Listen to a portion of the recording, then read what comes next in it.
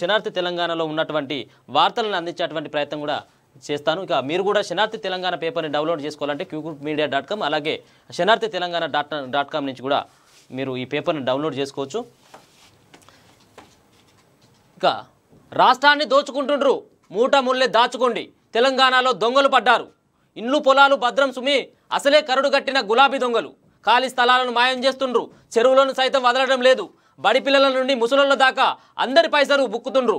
రాష్ట్ర ప్రజలారా తస్మాత్ జాగ్రత్త. దొంగలంటే లుంగీ కట్టుకొని దొంగలంటే లుంగీ కట్టుకొని మీసాలు మెలేసి ముఖానికి గుడ్డ కట్టుకొని వచ్చే దొంగలు అనుకున్నారా? కాదు కాదు. కద్దరు బట్టలు వేసుకొని దర్జాగా కార్లలో తిరుగుతూ యథేచ్ఛగా దోచుకునే దొంగలు.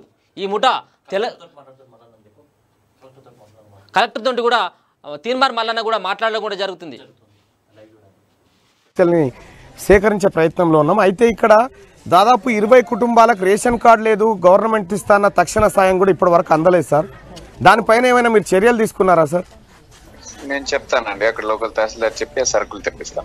సార్ సరుకులు కాదు సార్ ఇప్పుడు తక్షణ సాయం పది పది వేల రూపాయలు వీళ్ళకి ఎప్పుడు వస్తాయి సార్? అది వస్తాయండి. లిస్ట్ ఫైనలైజ్ అవుతుంది ఇవాళ. ఒక రెండు మూడు రోజుల్లో వచ్చేస్తుంది అలాగే పట్టా పాస్బుక్లకు సంబంధించిన సమస్యలు కూడా ఇక్కడ విపరీతంగా ఉన్నాయి కలెక్టర్ గారు. అది ఒకసారి నాకు ఆ లిస్ట్ ఇచ్చేస్తే నేను సర్వే ఏమన్నా చేయించాల్సి ఉందా అది ఏంటంటే నేను ఎంక్వైరీ చేపిస్తానండి. తక్షణమే దాని మీద ఏమైనా చర్య తీసుకుంటాను తప్పకుండా సార్. తమ ఆఫీస్కు మా టీమును పంపిస్తాను సార్. ఈ గ్రామానికి సంబంధించిన సమస్యలు ఇచ్చి. చెప్పండి. ఆ లిస్ట్ పంపించండి. Will take care sir thank you sir. Thank you sir. Thank you thank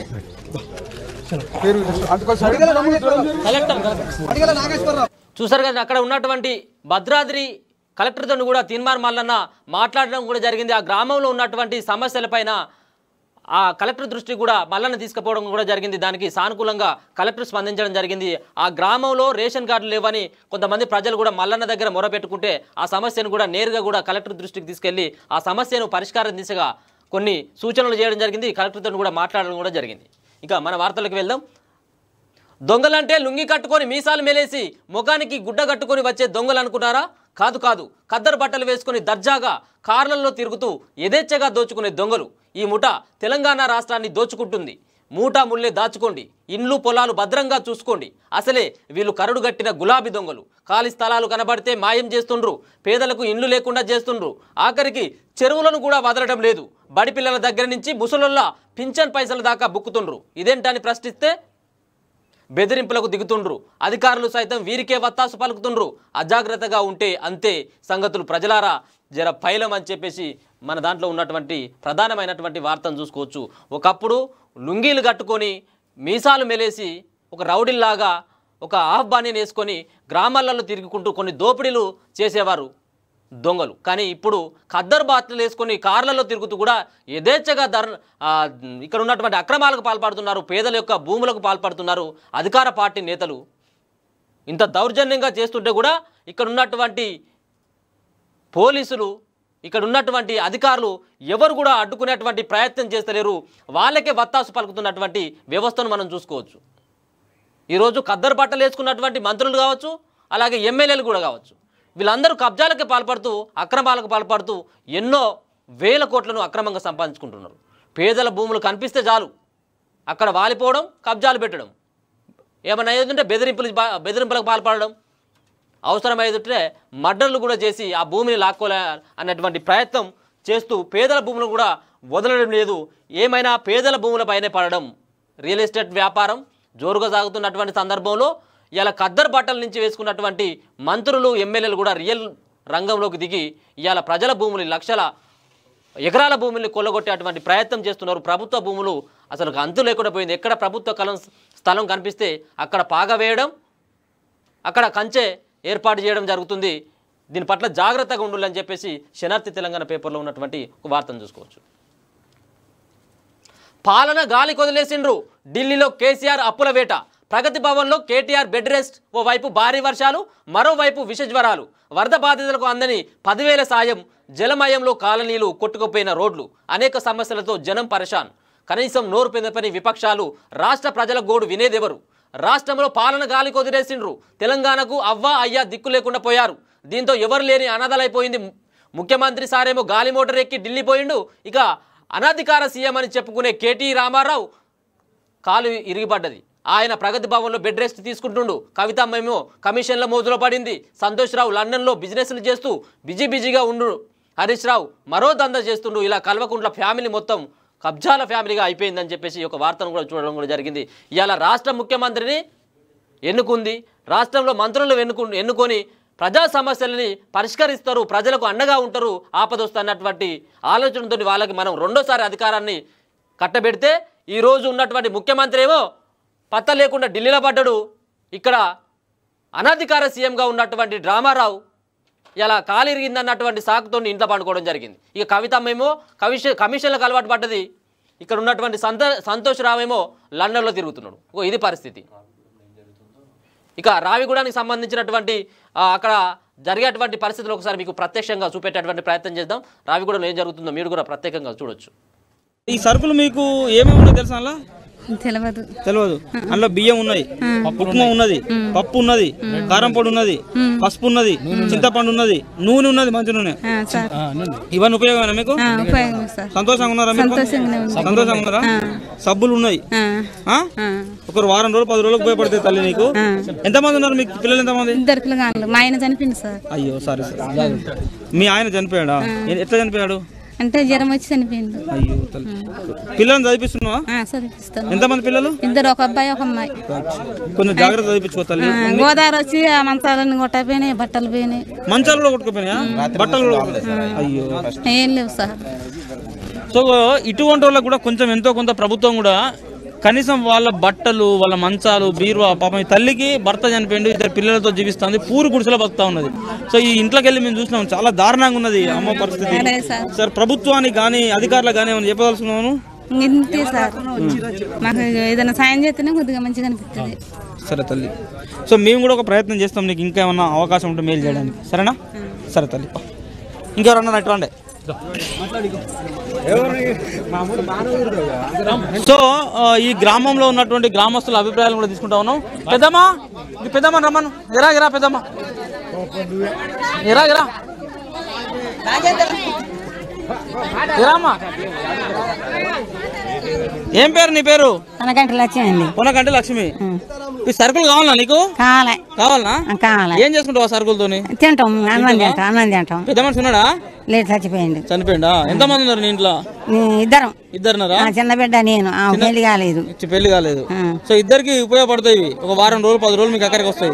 ఏం పని చేసాం బతు నేనేం లేదండి మాకు కరోనా వచ్చింది ఇంట్లోనే కూకుంటాను ఇంట్లో కూర్చుంటున్నావా. బిడ్డ ఏం పని చేస్తుంది? బిడ్డ వికలాంగులు. వికలాంగురాలా? ఆ, మంచిగా లేదు. మంచిగా లేదు.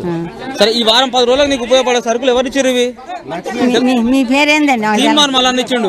మన మళ్ళీ ఇచ్చిండు. తీన్మార్ మలాన్ని ఇచ్చిండు. సంతోషమే కదా నీకు? సంతోషమే. రైట్ సంతోషం సో ఇది ఇక్కడ ఉన్నటువంటి గ్రామస్తుల అభిప్రాయాలను ఒకసారి తెలంగాణ సమాజం ముందు కూడా ఉంచాలనే ఒక ప్రయత్నం చేస్తా ఉన్నాం గ్రామ ప్రజల యొక్క అభిప్రాయాలను కూడా తీసుకుంటా ఉన్నాం.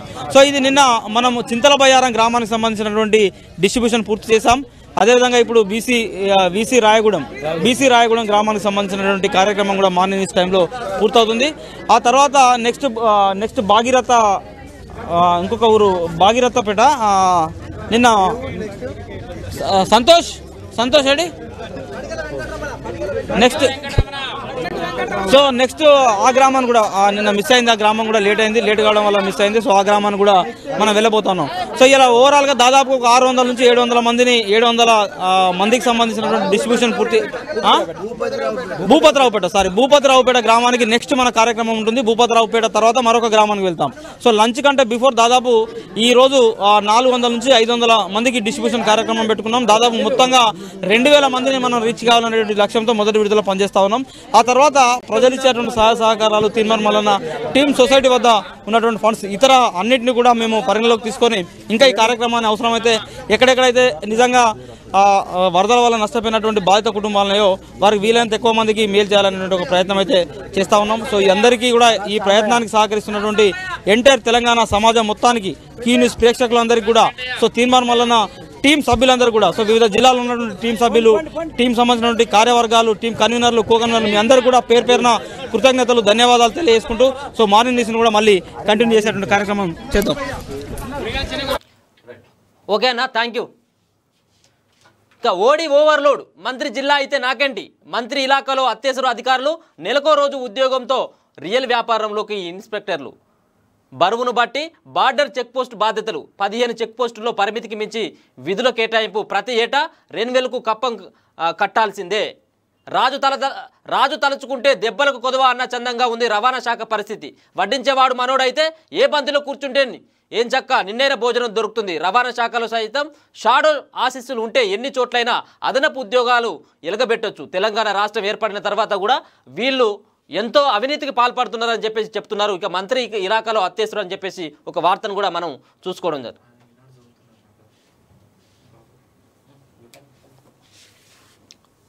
మైహోమ్ అక్రమ కట్టడాలపై కొరడా. శనార్థి తెలంగాణ ఎఫెక్టు. ఈ వార్త. అక్రమ నిర్మాణాలపై ఆర్డీఓ విచారణ తహసీ తహసీల్దార్ సర్వే టీం సిబ్బందితో పరిశీలన. భూదాన్ భూములో నిర్మాణ అనుమతులపై ఆరా. కట్టడాలపై చర్యలు తీసుకోనున్నట్లు వెల్లడి. మనం కూడా గత కొద్ది రోజులుగా కూడా అక్రమ వెంచర్లు వెలుస్తున్నాయి. అక్రమంగా కూడా మై హోమ్ రామేశ్వరరావు నిర్మాణాలు చేపడుతున్నాడు అని చెప్పేసి మనం కూడా కథనాలు ప్రచురించడం జరిగింది. ఇక సూర్యాపేట జిల్లా మేళ్ళ చెరువు దగ్గర ఉన్నటువంటి ఒకటి సున్నా యాభై ఏడు అంటే వెయ్యి యాభై ఏడులోని నూట పదమూడు ఎకరాలలో మైహోం రామేశ్వరరావు చేస్తున్నటువంటి అక్రమాలపై మనం చెనార్తి తెలంగాణ చాలా కథనాలు కూడా ప్రచురించడం జరిగింది. అయితే ఈ కథనాలను దృష్టిలో పెట్టుకొని కూడా ఇక్కడ ఉన్నటువంటి ఆర్డీఓ ఈ నిర్మాణాలపై కొరడా గులిపించడం జరిగింది. ఇక్కడ కట్టేటివన్నీ అక్రమ నిర్మాణాలు.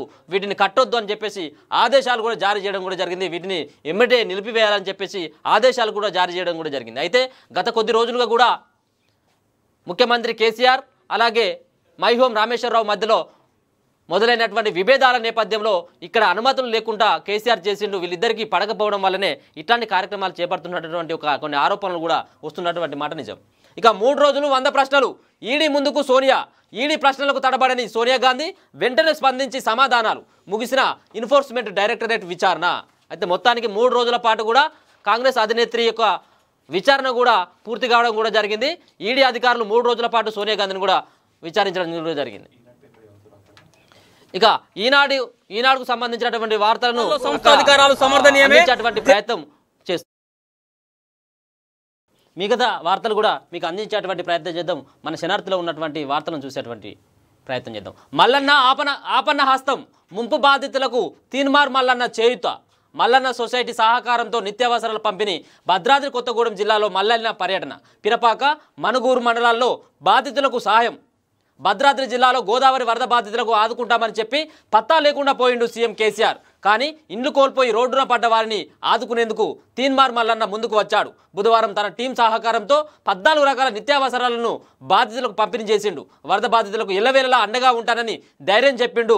సాయం చేసేందుకు వచ్చిన మల్లన్నను అక్కడి ప్రజలు సొంత మనిషిలా ఆదరించారు. తీన్మార్ మల్లన్న ముందు తమ గోడు వెళ్ళబోసుకున్నారు. ఇక్కడ ప్రజలకు సహాయం చేస్తాను వరద ప్రాంతంలో ఉన్నటువంటి బాధితులకు న్యాయం చేస్తాను తక్షణ సహాయంగా వెయ్యి కోట్ల రూపాయలను ప్రకటిస్తున్నా అని చెప్పేసి గొప్ప మాటలు చెప్పి పత్తా లేకుండా పోయినటువంటి ముఖ్యమంత్రి వాళ్ళను విస్మరించిండు. ప్రజలు ఈరోజు ఆ రోడ్డున పడ్డటువంటి పరిస్థితి వారికి ఉన్నటువంటి పునరావాస కేంద్రాలను కూడా ప్రభుత్వం పూర్తిగా ఎత్తేసినటువంటి పరిస్థితి. అయినప్పటికీ వారికి భరోసా ఇచ్చేందుకు మేమున్నాము మిమ్మల్ని ఆదుకోవడానికి అన్నటువంటి ఆలోచనతోటి తీన్మార్ మల్లన్న సొసైటీ ముందుకొచ్చింది. వాళ్ళని ఆదుకోవడానికి వారిని వారికి తిండి గింజలు అందించడానికి పద్నాలుగు రకాలైనటువంటి నిత్యావసర సరుకుల్ని ఒక ప్యాకెట్లుగా మలిచి వాటిని అందించేటువంటి ప్రయత్నం మల్లన్న చేస్తున్నాడు. మల్లన్న టీం చేస్తున్నది. అలాగే ప్రజలారా మీరిచ్చినటువంటి సహకారంతో మల్లన్న ముందుండి అక్కడ ఉన్నటువంటి బాధ్యతలను ఆదుకునేటువంటి ప్రయత్నం చేస్తున్నాడు. ఈరోజు కూడా కాసేపటి క్రితం కూడా మనం చూడడం కూడా జరిగింది. అక్కడ గ్రామాల్లో ఇప్పటి వరకు కూడా ప్రభుత్వ అధికారులు వచ్చింది లేదు. ప్రజాప్రతినిధులు పత్తా లేకుండా పోయిన్లు. మాకు అందిస్తున్నటువంటి నిత్యావసర సరుకులు కూడా ఏమి లేవు. ఆర్థిక సాయం పదివేలు అందిస్తామని చెప్పేసి ఇప్పటి వరకు మాటలు చెప్పిన కానీ ఏ ఒక్కరికి ఒక రూపాయి రాలేదని చెప్పినటువంటి సందర్భం మల్లన్న ముంగట వాళ్ళ బాధితులు గోడు వెళ్ళిపోసుకున్నటువంటి సన్నివేశాలను కూడా మనం చూడడం జరిగింది. వారి యొక్క ఇండ్లు పూర్తిగా ధ్వంసం అయిపోయినాయి ఆ ఇండ్ల ఇండ్లో ఉన్నటువంటి బియ్యంతో పాటు ఉప్పులు పప్పులు కూడా అదే అదే నదిలో కలిసిపోవడం జరిగింది గోదావరి నదిలో కొట్టుకుపోయినటువంటి పరిస్థితి కూడా చూసుకోవడం జరిగింది. కాబట్టి అక్కడ వాళ్ళకి నిత్యావసర సరుకులు పద్నాలుగు రకాలైనటువంటి వస్తువులను అందించేటువంటి ప్రయత్నం మల్లన్న చేయడం కూడా జరిగింది. ఇప్పుడు కూడా మా టీం కూడా అక్కడ అందించేటువంటి ప్రయత్నం మాత్రం చేస్తుంది. రైతు వ్యతిరేక విధానాలను ఎండగట్టండి. రాష్ట్ర సర్కార్ మోసాలను అన్నదాతలకు వివరించండి. కేంద్ర ప్రభుత్వ సబ్సిడీల గురించి తెలియజేయండి.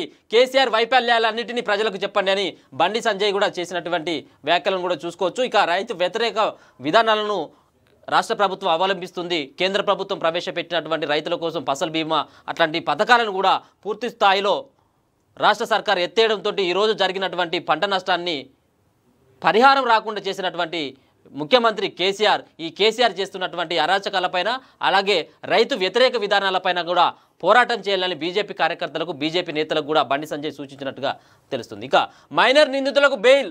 జూబ్లీ హిల్స్ రేప్ కేసులో నలుగురు రిలీజ్. జువైనల్లోనే ఉండిపోయిన ఎమ్మెల్యే కొడుకు. మొన్న బెయిల్ నిరాకరించిన కోర్టు నిన్న హైకోర్టులో బెయిల్ మంజూరు. నేడు జైలు నుంచి విడుదలయ్యే ఛాన్స్. చూడండి ప్రజల ఎక్కడికి పోయిందో. రాష్ట్రంలో ఒక సంచలనం సృష్టించినటువంటి జూబ్లీహిల్స్ మైనర్ బాలికపై రేప్ కేసులో ఆరుగురిని నిందితులుగా చేరిస్తే ఇప్పటి వరకు ఐదుగురు కూడా సురక్షితంగా బయటకు వచ్చిండ్లు నలుగురిని మొన్న రిలీజ్ చేస్తే నిన్న హైకోర్టులో ఎమ్మెల్యే కొడుకు కూడా బెయిల్ మంజూరు చేసినటువంటి సందర్భం. ఈయన మైనర్ కూడా కాదు మేజర్. అయినప్పటికీ ఆధార్ కార్డులలో మార్పింగ్ చేసి ఏజ్ తక్కువ చేపించి ఈయనను జువైల్ కోర్టులలో ఉంచి ఈరోజు బెయిల్ మంజూరు చేసినటువంటి సందర్భం. రాష్ట్రంలో రాష్ట్రంలో ఉన్నటువంటి హైదరాబాద్ సిపిగా ఉన్నటువంటి సివి ఆనంద్ కూడా ఏమని చెప్పిండు? ఇక్కడ ఉన్నటువంటి నిందితులకి ఇరవై సంవత్సరాలకు పైగా వాళ్ళ పైన శిక్ష పడుతుందన్నటువంటి వ్యాఖ్యలు చేసిండు. మరి దీనికి సమాధానం ఏం చెప్తావు? ఇరవై సంవత్సరాలు శిక్ష పడిందా వాళ్ళకి? కనీసం రెండు నెలలు కూడా లేదు. ఈ ఆటితోటి రెండు నెలలు. ఇరవై ఎనిమిదో తారీఖు మే ఇరవై ఎనిమిదో తారీఖున జరిగినటువంటి ఆ సంఘటన. మళ్ళీ రెండు నెలలు కూడా కాకముందుకే వాళ్ళు బయటకు వచ్చి దర్జాగా మళ్ళీ సమాజం మీద పడి వారికి ఎట్లాంటి మెసేజ్ ఇవ్వదలుచుకున్నారు వాళ్ళు? వాళ్ళపైన చర్యలు తీసుకోవాలి కదా. అంటే రాష్ట్రంలో సామాన్యులకు ఒక న్యాయం బలిసినోడికి ఇంకొక న్యాయంలా ఈరోజు పోలీసు వ్యవస్థ బిహేవ్ చేస్తుంది. పోలీసులు కూడా దగ్గరుండి కూడా ప్రతి సన్నివేశాన్ని కూడా రీకన్స్ట్రక్షన్ చేయడం జరిగింది. ఎక్కడెక్కడ ఏ సంఘటనలు జరిగినాయి ఎప్పుడు ఏ టైంలోకి పబ్లోకి వచ్చిన తర్వాత అమ్మాయి ఎక్కడ ఉంది అమ్మాయిని అక్కడి నుంచి ఎందుకు తీసుకుపోవాల్సి వచ్చింది ఆ వెహికల్లో ఎంతమంది ఉన్నారు ఎక్కడ గ్యాంగ్ రేప్ జరిగింది అన్నటువంటి ప్రతి సీన్ రీకన్స్ట్రక్షన్ చేసిన తర్వాత మరి కోర్టుకు మరి పోలీసులు ఎందుకు ఆధారాలు సమర్పించలేకపోయిళ్ళు ఇది కావాలని చెప్పేసి నిందితులను తప్పించేటువంటి ప్రయత్నం పోలీసులు కూడా చేయడం జరిగింది. అయితే దీనిలో ఎనిమిది మంది నిందితులు అని చెప్పేసి మొదట్లో భావించిళ్ళు. అప్పటికే ఎవరంటూ పలికిబడి ఉన్నటువంటి నేతల్ని ఇద్దరిని కూడా పక్కన పెట్టి లాస్ట్కి ఆరుగురు నిందితులుగా చేర్చడం జరిగింది. దీంట్లో ఇప్పటి వరకు ఏ వన్గా ఉన్నటువంటి ఒక సాదిద్దున్ మాలిక్ మాత్రమే అతనికి మాత్రమే బెయిల్ రాలేదు. అతన్ని కూడా అతి త్వరలో బెయిల్ వచ్చేటువంటి అవకాశం ఉందట. అతన్ని కూడా బయటికి తీసుకొచ్చేటువంటి ప్రయత్నం ఈ బడా రాజకీయ నాయకులు కూడా చేస్తున్నారు. ఆ అమ్మాయితో కూడా కేసును వాపసు తీసుకునేటువంటి ప్రయత్నంలో అమ్మాయిని భయ భయపెట్టో నయోనో భయనో చేసి ఖచ్చితంగా అమ్మాయితో కేసు వాపసు తీసుకునేటట్టుగా ప్రయత్నాలు కూడా చేస్తున్నట్టుగా సమాచారం మనకు అందుతుంది. ఆర్థిక సాయం ఎందుకు అడగట్లే? కేసీఆర్పై రేవంత్ రెడ్డి విమర్శలు. ఢిల్లీకి వచ్చి ఏం చేస్తున్నారని ప్రశ్న ప్రధానిని కలవకుండానే ఇంట్లోనే కూర్చున్నాడని ఆగ్రహం. ప్రధాని ప్రధానిని కలవకుండా ఢిల్లీకి వచ్చి ఆర్థిక సాయం అందియాలే. రాష్ట్రంలో పరిస్థితులు ఈ విధంగా ఉన్నాయి. వరద సహాయం అందియాలే. ఇది ఒక జాతీయ విపత్తుగా ప్రకటించాలని చెప్పేసి విపక్షాలు డిమాండ్ చేస్తున్నటువంటి సందర్భంలో ఢిల్లీలో ఉన్నటువంటి ముఖ్యమంత్రి కనీసం ప్రధానమంత్రిని అపాయింట్మెంట్ కూడా అడగకుండా ఢిల్లీలోనే అక్కడే కూర్చొని ఆయన ఒక నివాస స్థలంలో కూర్చొని నివాసంలో కూర్చొని అక్కడ అక్కడి నుంచి అప్పులు ఎట్లా రావాలి? ఆర్థిక సాయం ఎవరు ఇస్తారు? అప్పులు తీసుకొచ్చి నేనెంత మింగాలి? ఎంత కమిషన్లు కొట్టాలి? ఇక్కడ ఒకవేళ అప్పు పుట్టేది ఉంటే ఏ విధంగా ఎవరికి ఇవ్వాలన్నటువంటి ఆలోచనతో ఈరోజు ముఖ్యమంత్రి అక్కడ ఢిల్లీలో మకం వేసిండు. రాష్ట్ర ప్రజలు ఎక్కడికి పోయినా పర్లేదు. ముఖ్యమంత్రి ఏమో ఢిల్లీలో ఉంటాడు కొడుకేమో ఇంట్లో పంటాడు. రాష్ట్ర ప్రజలనేమో రోడ్డు మీద వాళ్ళు కనీసం తినడానికి తిండి లేకుండా రాష్ట్ర ప్రజలు అగమ్య గోచరంగా తయారైంది అక్కడ ఉన్నటువంటి వరద ప్రాంతం యొక్క బాధితుల యొక్క వాళ్ళ గోస. ఇక రాష్ట్రానికి వందే భారత్ రైలు. దీపావళి తర్వాత నుంచి ప్రారంభం హైదరాబాద్ విశాఖపట్నం లేకుంటే హైదరాబాద్ ఢిల్లీ మార్గంలో నడిపే ఛాన్స్. రెండు వేల ఇరవై మూడు ఆగస్టు నాటికి డెబ్బై ఐదవ డెబ్బై ఐదు వందే భారత్ రైలు అట. రెండు వేల ఇరవై మూడు ఆగస్టు వరకు ఆగస్టు వరకు డెబ్బై ఐదు భారత్కు రైలు కూడా రావడం కూడా జరుగుతుందని చెప్పేసి ఒక వార్తను కూడా చూసుకోవచ్చు. ఎంతకాలం ఇలా అవకాశం ఉన్న విమర్శలకే బీజేపీ పరిమితం? కేసీఆర్కు కాళేశ్వరం ఏటీఎం అన్న నేతలు ధాన్యం కొనుగోలులో మిల్లర్లతో కుమ్మక్కయ్యారు దేశంలోని అత్యంత అవినీతిమైన తెల అవినీతిమయమైన తెలంగాణ సర్కార్ కేసీఆర్ ప్రభుత్వంపై కేంద్ర మంత్రుల విమర్శలు అవినీతి చేస్తే దర్యాప్తు చేయించుకోవచ్చుగా అంటున్న ప్రజలు. దర్యాప్తు చేయించకపోవడం వెనుక మతలాభు అవసరానికి కేసీఆర్ పనికొస్తాడనే నమ్మకం పైకి విమర్శలు లోపల కౌగిలింతలు. కమలం పెద్దలపై రాష్ట్ర ప్రజల వ్యంగ్యాస్త్రాలు. బీజేపీ నేతలేమో రాష్ట్ర సర్కార్ అవినీతి పాల్పడ్డది అక్రమాలకు పాల్పడ్డది వేల కోట్లు దోచుకున్నాడు ముఖ్యమంత్రి కుటుంబం అని చెప్తూనే మరి ఎందుకు మీరు మరి ఇతన్ని దాచిపెట్టేటువంటి ప్రయత్నం చేస్తున్నారు? ఈయన పైన కూడా ఈడీ సిబిఐ దాడులు చెప్పవచ్చు కదా. కేంద్ర చేతిలో ఉన్నటువంటి కేంద్ర ఆధీనంలో కేంద్ర ప్రభుత్వం ఆధీనంలో ఉన్నటువంటి సిబిఐ ఈడీలను మిగతా రాష్ట్రాల్లో పశ్చిమ బెంగాల్ అయితే ఉంది అక్కడ మహారాష్ట్ర ఇక్కడ ఢిల్లీ ఇట్లాంటి దగ్గర మీరు ఈడీని సిబిఐని మీకు ఉన్నటువంటి ప్రతిపక్షంలో ఉన్నటువంటి పార్టీల నేతలపైన మీరు ఈడీ సిబిఐలు దాడులు చేసినప్పుడు మొన్న కూడా మనం చూడడం కూడా జరిగింది. ఫరూక్ అబ్దుల్లా జమ్మూ కాశ్మీర్కి సంబంధించిన మాజీ ముఖ్యమంత్రి పైన కూడా ఈడీ దాడులు చేపించుళ్ళు మరి ఇక్కడ ఉన్నటువంటి మొత్తం ఉన్నటువంటి ఇరవై తొమ్మిది రాష్ట్రాల్లో అందరికంటే అవినీతి పరుడు సీఎం కేసీఆర్ అని చెప్తున్నటువంటి బీజేపీ నేతలు. మరి ఇక్కడ ఉన్నటువంటి ముఖ్యమంత్రి ముఖ్యమంత్రి కుటుంబ కుటుంబం మీద ఎందుకు ఈడి దాడులు చేయట్లేదు? ఎందుకు చేపించడం లేదు? అంటే దీంట్లో ఏం మతలాభం ఉంది అనేది ప్రజలు అర్థం చేసుకోవాలని చెప్తున్నటువంటి మాట.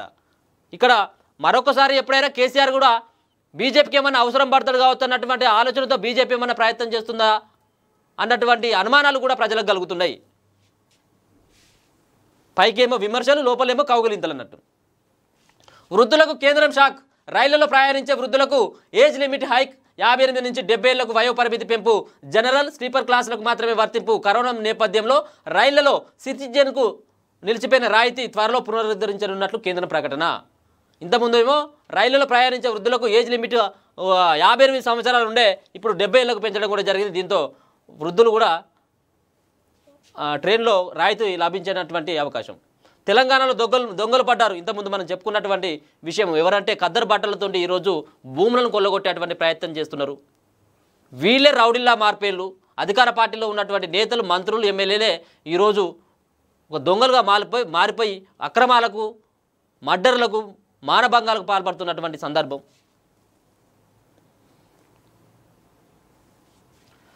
బాలుల హాస్టల్లో ఫుడ్ పాయిజన్. ఏడుగురు విద్యార్థులకు అస్వస్థత. ఆసుపత్రికి తరలించిన సిబ్బంది మహబూబాద్ జిల్లా గూడూరులో ఘటన. ఫుడ్ పాయిజన్ అయి ఏడుగురు విద్యార్థులు అస్వస్థకు గురైన ఘటన మహిబాద్ జిల్లా గూడూరు మండల కేంద్రంలో గిరిజన బాలుర వసతి గృహంలో చోటు చేసుకుంది.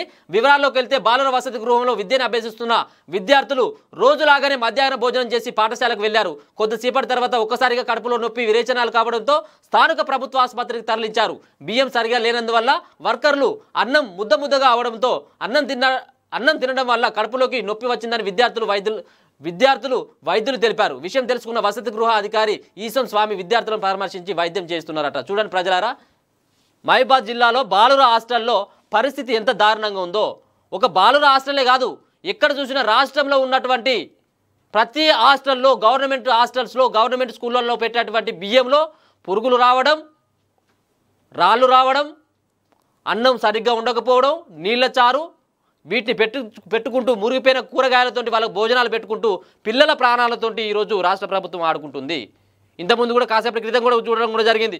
బాసర ట్రిపుల్ ఐటీలో ఉన్నటువంటి ఒక విద్యార్థి వరంగల్ జిల్లాకు సంబంధించిన విద్యార్థి అక్కడ పెట్టినటువంటి ఫుడ్ పాయిజనింగ్తో చనిపోవడం జరిగింది. మొన్న చనిపోవడం జరిగింది. అంటే ప్రభుత్వానికి పేద పిల్లల యొక్క చదువు అనేది ఉంటే లెక్కలేదు వా పేద పిల్ల పేద పిల్లలు పేద ప్రజలంటే ఎంత చులకన భావం ప్రభుత్వానికి ఉందో అర్థం చేసుకోవచ్చు. మళ్ళీ అంటాడు కదా గురుకుల పాఠశాలలో సరైనటువంటి సౌకర్యాలు కల్పిస్తున్నాం. ఒక్కొక్క పిల్లోడి మీద ఒక్కొక్క అమ్మాయిల పైన లక్ష ఇరవై ఐదు వేల రూపాయలు కూడా పెట్టి కూడా వాళ్ళని చదివిస్తున్నాం అని చెప్పేసి గొప్ప మాటలు చెప్తున్నాడు ఈ రామారావు. మళ్ళీ హాస్టల్లో పెట్టేటువంటి ఫుడ్డు ముఖ్యమంత్రి మనవడు ఏం ఏం బియ్యం తింటాడో ఏం ఫుడ్ తింటాడో ఎట్లాంటి అన్నం తింటాడో ఇక్కడ హాస్టల్లో చదువుకున్నటువంటి విద్యార్థులు కూడా అట్లే భోజనం పెడుతున్నావు సర్కార్ కేవలం తెలంగాణ సర్కార్ మాత్రమే అని చెప్పేసి గొప్పలు చెప్తున్నటువంటి ముఖ్యమంత్రి మరి దీనికి ఏం సమాధానం చెప్తారో ఒకసారి చెప్పాలి. సిగ్గుండాలి రాష్ట్ర ప్రభుత్వానికి. పిల్లల పట్ల గిదా. ఇంత నిర్లక్ష్యమా? టీఆర్ఎస్లో తిరుగుబాటు తప్పదు. త్వరలో బీజేపీలో త్వరలో బీజేపీలోకి కాంగ్రెస్ ఎమ్మెల్యే రాజగోపాల్ రెడ్డి మునుగోడులో ఉప ఎన్నిక. ఎక్కడ ఉప ఎన్నిక జరిగిన కమలందే విజయం? బండి సంజయ్ కీలక వ్యాఖ్యలు. కాంగ్రెస్ ఎమ్మెల్యే రాజగోపాల్ రెడ్డి త్వరలో బీజేపీలో చేరబోతున్నారని ఆ పార్టీ తెలంగాణ అధ్యక్షుడు బండి సంజయ్ అన్నారు. బీజేపీ ఆకర్షణలో భాగంగా రాజగోపాల్ రెడ్డి కాషాయ కండువ కొప్పుకోవడానికి సిద్ధంగా ఉన్నారన్నారు. త్వరలోనే మునుగోడులో ఉప ఎన్నిక రానుందని ఆ ఉప ఎన్నికలోనూ హుజరాబాద్ ఫలితం రిపీట్ కానుందని వెల్లడించారు. బుధవారం ఆయన మీడియాతో మాట్లాడారు. టీఆర్ఎస్లో తిరుగుబాటు తప్పదని ఈ సందర్భంగా ఆయన సంచలన వ్యాఖ్యలు చేశారు. మహారాష్ట్రలో మాదిరి తెలంగాణలోని పొలిటికల్ మార్పులు తథ్యమన్నారు కారు ఓవర్లోడ్ అయిందన్న ఆయన సీఎం కేసీఆర్పై ఆ పార్టీ ఎమ్మెల్యేలు సీనియర్ నేతలు తీవ్ర అసంతృప్తితో ఉన్నారన్నారు. టీఆర్ఎస్తో పాటు కాంగ్రెస్ పార్టీ నేతలు పెద్ద ఎత్తున బీజేపీలో చేరబోతున్నారని పేర్కొన్నారు. కాంగ్రెస్ నుంచి రాజగోపాల్ రెడ్డితో పాటు చాలా మందిని బీజేపీలోకి తీసుకొచ్చే విషయంలో జాతీయ కార్యవర్గ సభ్యులు వివేక్ వెంకటస్వామి ప్రయత్నాలు చేస్తున్నారని చెప్పేసి బండి సంజయ్ చేసినటువంటి వ్యాఖ్యలు. నిన్న కూడా చూడడం జరిగింది. రెండోసారి టీఆర్ఎస్ పార్టీ అధికారంలోకి వచ్చిన తర్వాత మొత్తం వన్ సైడ్గా బీజేపీ వైపే మల్లెండు కాంగ్రెస్ ఎమ్మెల్యే రాజగోపాల్ రెడ్డి.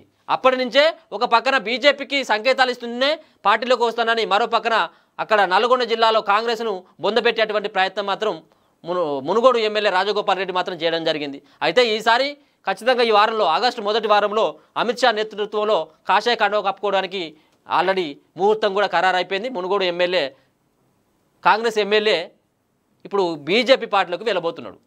మొత్తం మీద ఉప ఎన్నిక మాత్రం తెలంగాణలో మరో ఉప ఎన్నిక రాబోతుంది. అయితే మునుగోడు ఎమ్మెల్యే గెలిచినప్పుడు లేనటువంటి ఆనందం కార్యకర్తల్లో ఇతను రాజీనామా చేస్తే మునుగోడు ప్రజలు హర్షం వ్యక్తం చేస్తున్నారు. టపాసులు పేర్చుకుంటున్నారట ఎందుకు తెలుసా? అంటే మునుగోడులో మళ్ళొక ఉప ఎన్నిక వస్తుంది కదా. ఉప ఎన్నిక వస్తే ఆ ప్రాంతం డెవలప్ అవుతుంది వాళ్ళకు కూడా నాలుగు రోజులు పనులు జరుగుతాయి కదా. ఆ ఆ ఉద్దేశం బట్టి అక్కడ ఉన్నటువంటి కార్యకర్తలు సంబరాలు చేసుకుంటున్నారట. అంటే మన రాష్ట్రంలో ఉప ఎన్నికలు రావాలి. మన ప్రాంతంలో ఉప ఎన్నికలు రావాలని కూడా ప్రజలు కోరుకుంటున్న కోరుకుంటున్నటువంటి సందర్భం. అంటే ఉప ఎన్నిక రావాలంటే అక్కడ ఉన్నటువంటి ఎమ్మెల్యే రాజీనామాను చేయాలి లేకపోతే ఎమ్మెల్యే సత్యాన్న పోవాలి. అయితే ఇప్పుడు మునుగోడులో మూడోసారి కదా. అంటే ముడు మునుగోడులో మరొకసారి ఇంతకుముందేమో హుజురాబాద్లో తర్వాత దుబ్బాకులో గెలిచినటువంటి బీజేపీ పార్టీ మూడొకసారి కూడా మరొకసారి విజయాన్ని సొంతం చేసుకోవాలని బీజేపీ ఉప ఎన్నికను తీసుకొచ్చేటువంటి ప్లాన్లో ఉంది. అయితే ఇది చావో రేవో ఎన్నికలాగా మారనుంది బీజేపీకి అలాగే టీఆర్ఎస్కి మధ్యలో. ఎందుకనేది ఉంటే ఇది ఒక సెమీఫైనల్ ఫైట్ లాగా ఉండబోతుంది రానున్న ఎన్నికలకి. ఈసారి గెలిస్తే ఒకవేళ మునుగోడులో బీజేపీ పార్టీ గెలిస్తే కాంగ్రెస్ పార్టీని ఓవర్టేక్ చేసి ముందుకు పోయేటువంటి సంకేతాలు అలాగే టీఆర్ఎస్ పార్టీకి మేమే ప్రత్యామ్నాయం అని చెప్పేసి చెప్పేటువంటి మాటలు కూడా బీజేపీ పార్టీ ప్రయత్నం చేస్తుంది. ఒక పక్కన టీఆర్ఎస్ పార్టీ గెలిస్తే రెండోసారి మళ్ళొకసారి మూడోసారి అధికారంలోకి రావచ్చు అన్నటువంటి సంకేతాలని టీఆర్ఎస్ కార్యకర్తలకు వెళ్ళేందుకు ప్రయత్నాలు మాత్రం చేస్తున్నట్టుగా తెలుస్తుంది. కాబట్టి మరొకసారి కూడా అక్టోబర్లో ఉప ఎన్నికలు వచ్చేటువంటి అవకాశం ఉన్నది మునుగోడు ఎమ్మెల్యే రాజీనామా చేస్తే. ఇక ట్రాన్స్జెండర్కు సంబంధించినటువంటి హత్యా నిందితుడి అరెస్ట్ కావడం జరిగిందట. బీఎస్ఎన్ఎల్కు బిగ్ రిలీఫ్ కేంద్ర కేబినెట్లో కీలక నిర్ణయాలు. బీఎస్ఎన్ఎల్కు బూస్ట్ ఇచ్చిన కేంద్రం ఒకటి పాయింట్ ఆరు నాలుగు లక్షల కోట్ల ప్యాకేజీ బీబీఎన్ఎల్ విలీనానికి ఆమోదం. ఇక నేటి మాట ఒకసారి చూద్దాం. ఓటు ప్రతి మనిషి అస్తిత్వానికి ప్రతీక. ఓటు అనే రెండక్షరాలకు దేశ రాష్ట్ర స్థితిగతులను మార్చే శక్తి ఉంటుంది. దేశం రాష్ట్రాలు అభివృద్ధిలో పురోగతి సాధించాలన్న ప్రతి వ్యక్తి ఓటు హక్కును జన్మ హక్కుగా భావించాలి. ఒక వ్యవస్థను ప్రజాప్రతినిధి ఎంత అవసరమో ఆ ప్రజాప్రతినిధిని ఎన్నుకునేందుకు ఓటు కూడా అంతే అవసరం. అలాంటి ఓటు హక్కును డబ్బులకు వస్తు రూపంలో అమ్ముకోకుండా ఉచిత హామీలు ఉచిత హామీల మాయలో పడకుండా ఆత్మవిశ్వాసంతో నిజాయితీగా ఓటు వేసినప్పుడే ఈ సమాజం బాగుపడుతుంది. ఏదో ఒక రోజు నా ప్రజలు ఓటు విలువ తెలుసుకొని రాజ్యాధికారం సాధించిన రోజున నేను రాసిన రాజ్యాంగం యొక్క గొప్పతనం తెలుస్తుంది అన్న అంబేద్కర్ మాటలను నిజాం చేద్దాం. అవినీతి నిజాల అవినీతి నాయకులకు చోటు ఇవ్వకుండా అసమానతలకు అంటరానితనం లేని చదువుకున్న మేధావులు నాయకులుగా ఎన్నుకుందాం. ఓటు ఒక్కటే మన జీవితాలను మార్చేస్తుందన్న నిజాన్ని తెలుసుకుందామని చెప్పేసి పెద్దపల్లి రాజన్న చేసినటువంటి నేటి మాట. హైదరాబాద్ను ముంచెత్తిన వరద. ముసరాంబాగ్ చాదర్ఘాట్ వంతెనలను మూసివేత యాదాద్రి జిల్లా రుద్రవల్లి వంతెనపై ఉధృతంగా ప్రవాహం. మరో మూడు రోజులు భారీ వర్షాలు ఉంటాయన్న వాతావరణ శాఖ ప్రజలంతా అప్రమ అప్రమత్తంగా ఉండాలని సూచన. అయితే తెలంగాణలో కురిసినటువంటి వరదతోటి వర్షాలతోటి కూడా హైదరాబాద్ నగరంలో ఉన్నటువంటి జంట జలాశయాల్లో భారీగా నీరు చేరడం జరిగింది. అక్కడి నుంచి కూడా పూర్తిగా గేట్లు వెత్తేయడంతో ఆ అంత నీళ్ళు కూడా మూసీ నదికి రావడం జరిగింది. మూసీ నది ఒక్కసారిగా మూసీ నదికి చేరడంతో మూసీ నదిలో పెద్ద ఎత్తున కూడా వరద ప్రవాహం నగర నగర వ్యాప్తంగా కూడా ఆ మురుగు నీరు అంతా చేరి పలు ప్రాంతాలు కూడా జలమయమయ్యాయి. ఇక ఇక చూడండి ఇక పరిస్థితి ఎట్లా ఉందో. ఇగో ఇది మన హైదరాబాద్. ఇదే నా డల్లెస్ అంటే ఇదే. ఇలా పడవలేసి తిరుగు పడవలేసుకొని తిరగవచ్చు అంటే హైదరాబాద్కి ఓడరేవు తీసుకొచ్చినటువంటి గొప్ప ముఖ్యమంత్రి మన కేసీఆర్. ఇగో ఇటువంటి పరిస్థితి తీసుకొని వచ్చి హైదరాబాదు ప్రపంచ పటంలో మన హైదరాబాద్ నెంబర్ వన్గా ఉంటుందట అభివృద్ధిలో. ఇదా అభివృద్ధి అంటే మనది? రోడ్లు చక్కగా ఉండయి. ట్రాఫిక్ వ్యవస్థ అస్తవ్యస్తవం ఇక్కడ ఉన్నటువంటి చెరువుల పరిస్థితి మొత్తం చెరువులపైన అక్రమ కట్టడాలు అలాగే చెరువు భూములను కబ్జాలు చేసుకొని ఇక్కడ ఉన్నటువంటి హైదరాబాద్ నగరాన్ని ఇట్లా తయారు చేసినటువంటి పరిస్థితి. రైతు వ్యతిరేక విధానాలను ఎండగట్టండి. రోడ్ ట్యాక్స్ పెనాల్టీలను రద్దు చేయించండి. ఇటీవల వచ్చిన వరదలతో రోడ్లపై లారీలు తిరిగే పరిస్థితి లేదని అందువల్ల లారీలపై వేసే రోడ్ ట్యాక్స్ పెనాల్టీలను రద్దు చేసేలా రాష్ట్ర ప్రభుత్వంపై ఒత్తిడి ఒత్తిడి తేవాలని తెలంగాణ లారీ ఓనర్స్ అసోసియేషన్ నాయకులు బండి సంజయ్కి విజ్ఞప్తి చేశారు. దీంతో పాటు గ్రీన్ ట్యాక్స్ పెంపునకు సర్కార్ విరం- విరమింపు చేసుకునేలా ప్రెజర్ పెట్టాలని కూడా కోరడం కూడా జరిగింది. ఇక బెంగాల్లోనూ ఆపరేషన్ షిండే ముప్పై ఎనిమిది మంది టీఎంసీ ఎమ్మెల్యేలు టచ్లో ఉన్నారు. బీజేపీ నేత మిథున్ చక్రవర్తి వ్యాఖ్యలు. ఇది బీజేపీ పార్టీ చేస్తున్నటువంటి వ్యవహారము ఇట్లా ఉన్నది. అంటే వేరే పార్టీలో ఉన్నటువంటి నాయకులను పూర్తి స్థాయిలో కూడా వాళ్ళ వైపున మలుచుకొని అధికారాన్ని చేపట్టే దిశగా బీజేపీ పార్టీ ప్రయత్నాలు చేయడం కూడా జరిగింది. దానిలోనే శివసేన బలైపోయినటువంటి విషయం మహారాష్ట్రలో. మహారాష్ట్రలో ఉన్నటువంటి శివసేన పార్టీలో ఉన్నటువంటి ఎమ్మెల్యేలు తమ పార్టీ వైపు తిప్పుకొని అక్కడ బీజేపీ పక్ష ప్రభుత్వాన్ని ఏర్పాటు చేయడం జరిగింది. అలాగనే పశ్చిమ బెంగాల్లో కూడా మమతా బెనర్జీలో ప్రభుత్వంలో ఉన్నటువంటి ముప్పై ఎనిమిది మందిని కూడా వాళ్ళు టచ్లో ఉన్నారు బీజేపీకి అని చెప్పేసి అక్కడ ఉన్నటువంటి బీజేపీ నేత మిథున్ చక్రవర్తి వ్యాఖ్యలు చేయడం కూడా జరిగింది. ఇక మూడు రోజులు వంద ప్రశ్నలు సోనియా గాంధీకి సంబంధించినటువంటి వార్త మూడు రోజులు కూడా సోనియా గాంధీని కూడా విచారించిన ఈడీ వంద ప్రశ్నలు కూడా అడగడం జరిగింది. సుమారు పన్నెండు గంటల పాటు విచారించినటువంటి ఈడీ లాస్ట్కి రిలీఫ్ ఇచ్చిలు మరొకసారి కూడా ఈడీ గడప మరి తొక్కనట్టుగానే మరి సోనియా గాంధీ కనబడుతుంది. ఇప్పటికీ కూడా ఐదు రోజుల పాటు రాహుల్ గాంధీని మూడు రోజుల పాటు కూడా సోనియా గాంధీని విచారించారు పలు ప్రశ్నలపైన కూడా సంధించడం కూడా జరిగింది. మంకీ ఫాక్స్ వ్యాక్సిన్ ప్రయత్నాలు చూడు డెన్మార్క్కు చెందిన సంస్థతో సీరం ఇన్స్టిట్యూట్ ప్ర- సంప్రదింపులు. వ్యాక్సిన్ తయారీకి ఏడాది సమయం.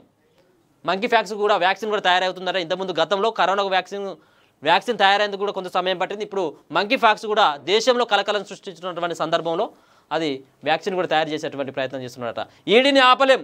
స్పష్టం చేసిన సుప్రీంకోర్టు ఈడీ అరెస్టులు ఏకపక్షం కాదన్న ధర్మాసనం కేంద్ర మాజీ మంత్రి పిటిషన్ను కొట్టేసినటువంటి సుప్రీం ఈడీ చేసినటువంటి దాడులే కాదు ఆ వాళ్ళకి అరెస్టులు కూడా చేసేటువంటి అధికారం ఉంటుంది అని చెప్పేసి వాళ్ళని సమర్థించేటువంటి ప్రయత్నం చేసింది. ఇక మల్లన్న ఆపన హస్తం కూడా ఒకసారి చూసేటువంటి ప్రయత్నం చేద్దాం. పేదల అభ్యున్నత లక్ష్యంగా పనిచేస్తున్న తీన్మార్ మల్లన్న గోదావరి ముప్పు ప్రాంతాల ప్రజలకు అండగా నిలిచారు.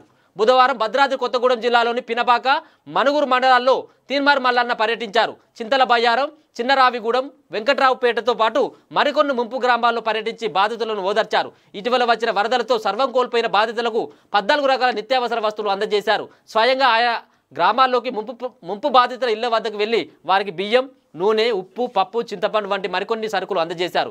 వారి కుటుంబంలోని సభ్యుని వలె బాధితులకు ఆప్యాయంగా పలకరించి క్షేత్రస్థాయి పరిస్థితిని అడిగి తెలుసుకున్నారు. ముంపు గ్రామాల ప్రజలు ఎవరు ఆధారపడొద్దని వారికి కావలసిన సహాయ సహకారాలు అందించేందుకు తీన్మార్ మల్లన్న టీం సభ్యులు ఎప్పుడు అందుబాటులో ఉంటారని తెలిపారు. ఎవరికి ఎలాంటి ఇబ్బందులు వచ్చినా వెంటనే తీన్మార్ మల్లన్న టీం సభ్యులకు తెలియజేయవచ్చన్నారు. దాదాపు మూడు రోజుల పాటు మల్లన్న ముంపు గ్రామా గ్రామాల్లో పర్యటించనున్నారు. ఎనిమిది టన్నుల నిత్యావసర సరుకులు బాధితులకు అందజేసేందుకు తరలించడం జరిగింది. త్వరలోనే మెడికల్ క్యాంపులు కూడా ఏర్పాటు చేయాలని కూడా నిర్ణయించడం కూడా జరిగింది. అయితే మల్లన్న కూడా భద్రాద్రి కొత్తగూడెంలో పర్యటిస్తున్నాడు. నిన్న వెళ్ళినటువంటి నిన్న మార్నింగ్ వెళ్ళినటువంటి మల్లన్న కూడా ఇప్పుడు కూడా అక్కడే స్టే చేస్తూ అక్కడే బాధితులకి వారి యొక్క ఇళ్ళకు వెళ్ళి కూడా వారి సమస్యలను కూడా తెలుసుకొని దగ్గరుండి సరుకులు అందించేటువంటి ప్రయత్నం మల్లన్న చేయడం కూడా జరుగుతుంది. వారికి పూర్తిగా అండగా ఉంటామని చెప్పేసి భరోసా ఇస్తూ మరొక పక్కన కూడా మెడికల్ క్యాంపులు కూడా ఏర్పాటు చేస్తామన్నటువంటి భరోసాని ప్రజలకు కూడా కల్పించిండు మల్లన్న. ఇక సినిమా పేజీని ఒకసారి చూసుకుందాం. డార్లింగ్ ఆలియా స్టైలిష్ ప్రమోషన్ అట. ఆలియా భట్కు సంబంధించి. బ్రేకప్ దిశా పటాని టైగర్ షాప్ ష్రాఫ్ విడిపోయారు. సార్ ఫస్ట్ లుక్ నేడే టీజర్ విడుదల. ధనుష్ బర్త్డే కానుకాట. ఇది. Art max red లెహంగాలో Rashmika Mandanna. Bebo is back stunning లుక్లో కరీనా కపూర్. ఇంకా మల్టీ షూరు సన్నీ లియోన్ బెడ్రూమ్ మోజ్ అట మరి. ఇక ఇది ఇక్కడ ఉన్నటువంటి సినిమా పేజీలో ఉన్నటువంటి వార్తలు. ఇది మనకు సంబంధించినటువంటి శనార్థి తెలంగాణలో ఉన్నటువంటి ప్రధానమైనటువంటి వార్తలు.